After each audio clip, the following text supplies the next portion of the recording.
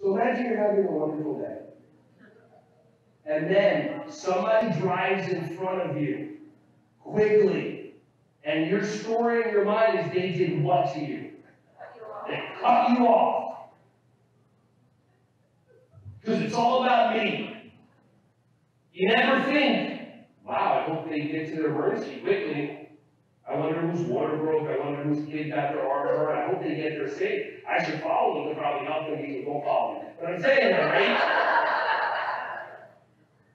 we don't think about that because we're so obsessed with thinking about ourselves. The reason why we're so obsessed about thinking about ourselves as humans is because we haven't realized yet, some people have, that the only access to joy and happiness is helping others. Because when you're helping others, you're not in your own head. And the universe kind of gives it back to you tenfold. So imagine now somebody drove in front of you, you create the story of they, they cut me off, they did this, they did that, and now that's you in the left lane. I'm going to show somebody because I can't show them, right? How many of you somebody, now here's one, how many of you if somebody drives in front of you and drives away, you're like mad at them for quote unquote cutting you off. Anybody upset at that person? Okay. Now all of a sudden you notice about half a mile up they hit the red light.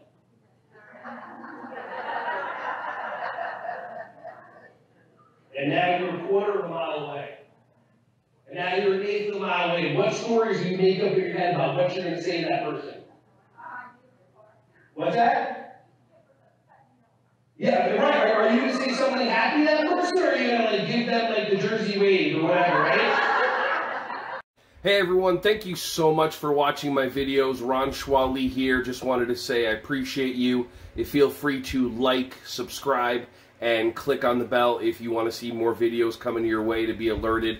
Just thank you so much and feel free to share this content with anybody who you think would find some value from this. Have an awesome, joyous, wonderful, breath-filled rest of your day.